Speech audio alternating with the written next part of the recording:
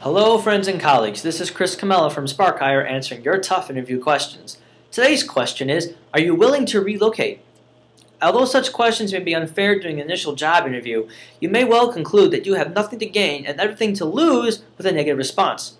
If you're asked such a question unexpectedly during the initial job interview, simply say something like, Well, that's certainly a possibility, or I'm willing to consider that. Later, if you receive an offer, you can find out the specific working conditions and then decide if you wish to accept the position. Remember that at the job offer stage, you have the most negotiating power, and the employer may be willing to accommodate your needs. If that isn't the case, you might wish to explain that upon reflection you decided you can't, uh, for instance, relocate, but that you'd like to consider for other positions that might open up in the future. For example, I prefer to be based here, but it's certainly a possibility I'd be willing to consider. This has been an answer to your tough interview questions.